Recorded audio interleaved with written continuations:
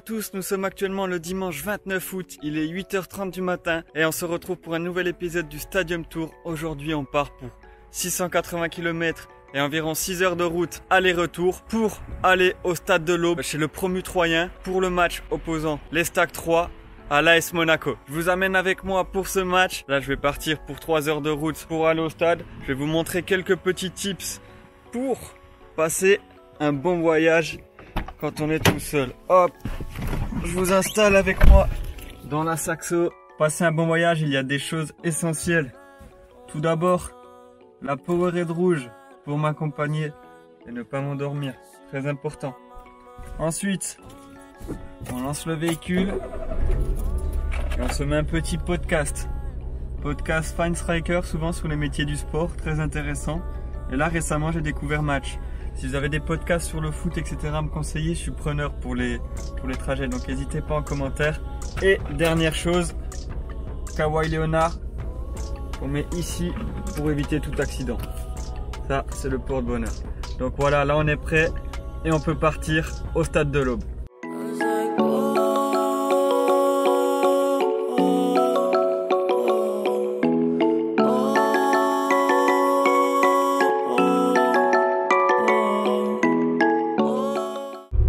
On se rapproche de 3, on est bientôt arrivé. Je suis un peu à la bourre, je vais arriver 30 minutes avant le coup d'envoi, donc je vais vous présenter le match euh, sur la route. 3 affrontent Monaco, deux équipes qui ont mal commencé le championnat. Pour les deux équipes, c'est le même bilan, deux défaites et un match nul. On va commencer par parler de Monaco. Monaco qui a montré de belles choses en phase de qualification pour la Ligue des Champions, mais qui n'a pas réussi à se qualifier, notamment face au Shakhtar Donetsk, où ils ont été éliminés, à cause de cette nouvelle règle, enfin de la suppression de la règle du but à l'extérieur. Cependant, c'est à nuancer. Ils ont un très bel effectif Monaco, un coach avec un beau projet de jeu. Je pense qu'une fois qu'ils vont lancer leur saison, ils seront difficiles à arrêter. Mais pour l'instant, c'est compliqué pour eux et il faudra faire beaucoup mieux.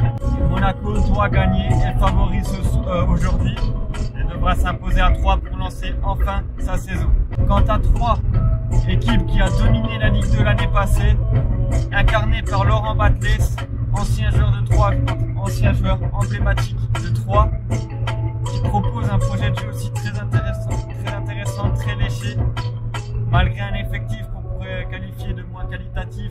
Ils essaient toujours de relancer propre, etc. J'en ai entendu que du bien. J'ai encore pas pu les voir jouer cette saison. Donc ça va être la première fois que je les vois jouer. Donc on va avoir une opposition Batles-Kovac.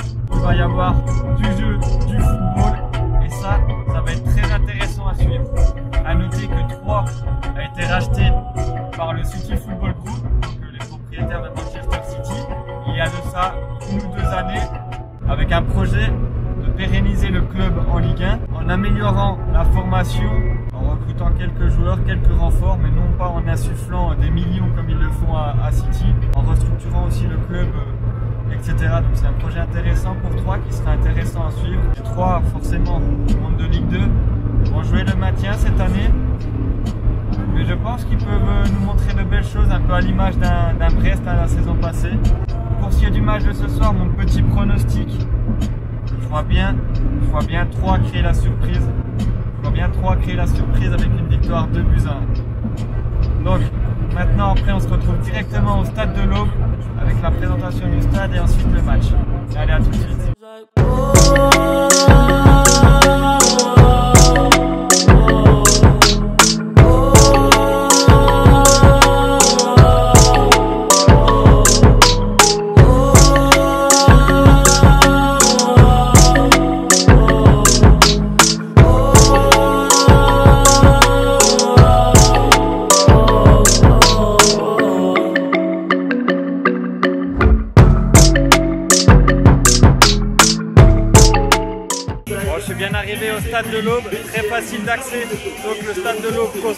1924.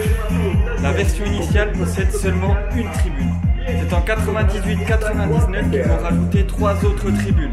La tribune Est, la tribune Nord et la tribune Sud. Dans la continuité, quelques années plus tard, ils vont démolir la tribune historique pour la reconstruire, la moderniser. Ainsi, avec tous ces travaux, le stade peut accueillir 20 400 spectateurs. A noter que le record d'affluence du stade a été établi en 2012 lors du match de la montée face à Amiens, réunissant 20 346 spectateurs au stade de l'Aube.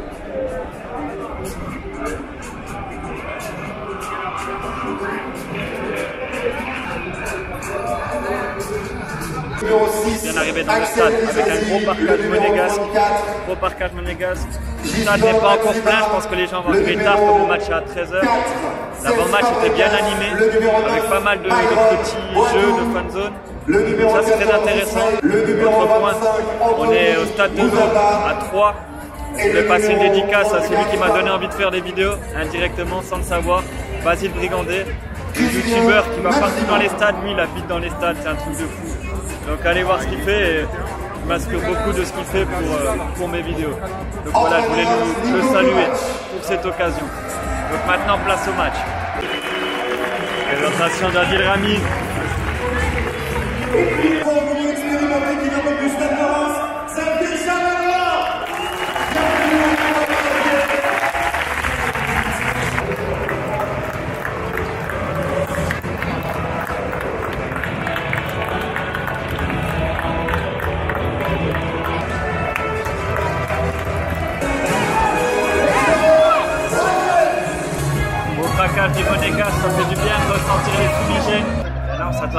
Je le sens bien ce match. Je sens qu'il va y avoir des buts. Donc bon match à tous.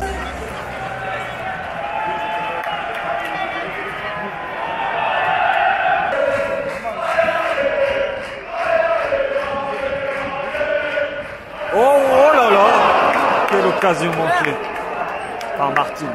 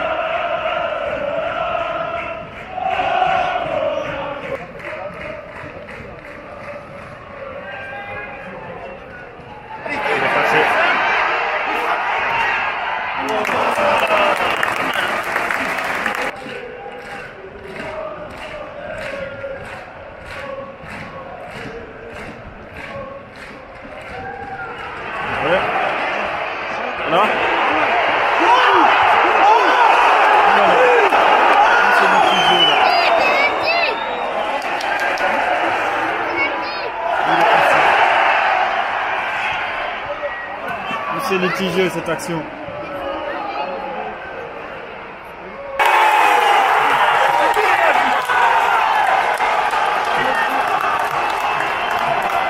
Ouverture du score de Sofiane Diop, c'est mérité pour Monaco qui poussait.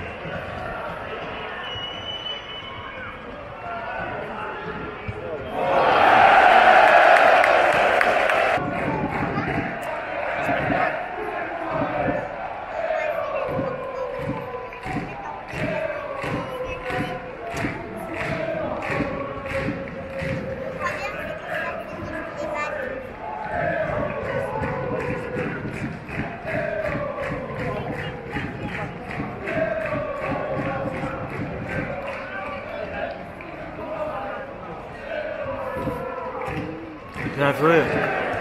Bien joué.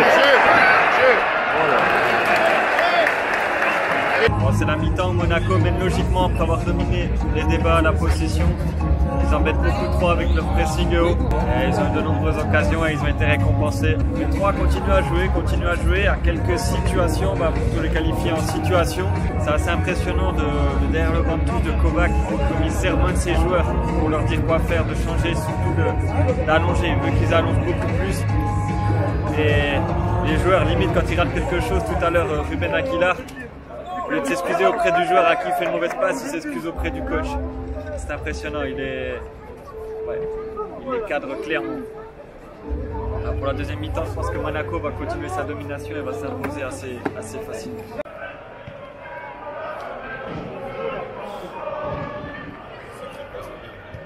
Oh, Diop, c'est football, Diop. Hein. Nelson. Ah, c'est plongeon.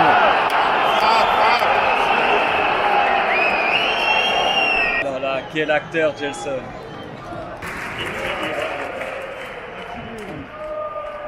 Oh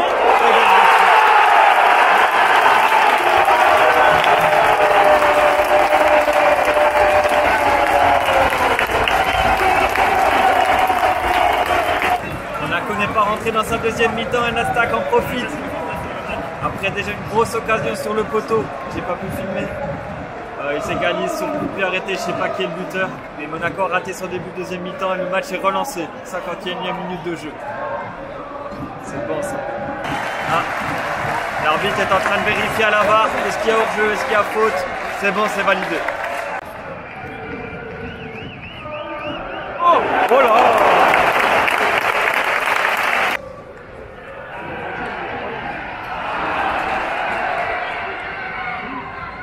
Oh, bien joué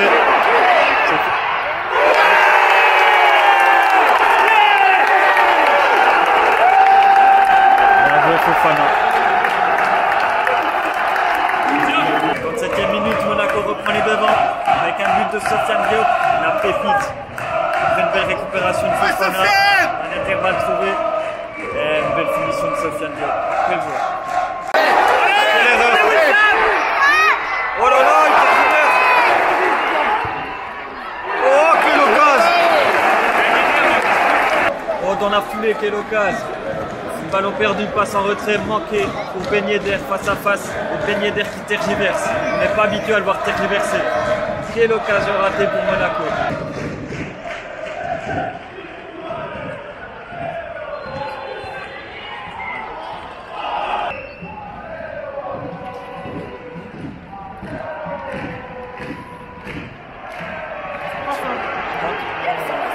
Oh Oh que c'était beau Deux magnifiques gestes tentés. Dommage.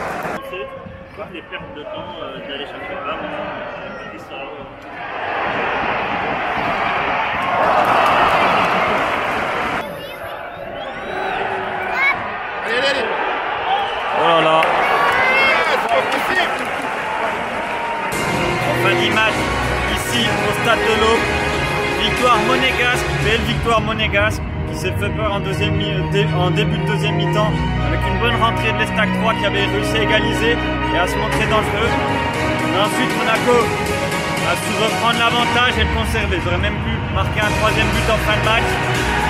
C'était un beau match, un beau match et Monaco, vraiment belle équipe. Belle ambiance en tribune mise par le parcage notamment. Ce qui est dommage ici, c'est que le COP de 3 est assez petit et qui était donc dominé aussi là par Monaco en tribune. Ce qui est aussi dommage, c'est que le- les tribunes ne soient pas pleines.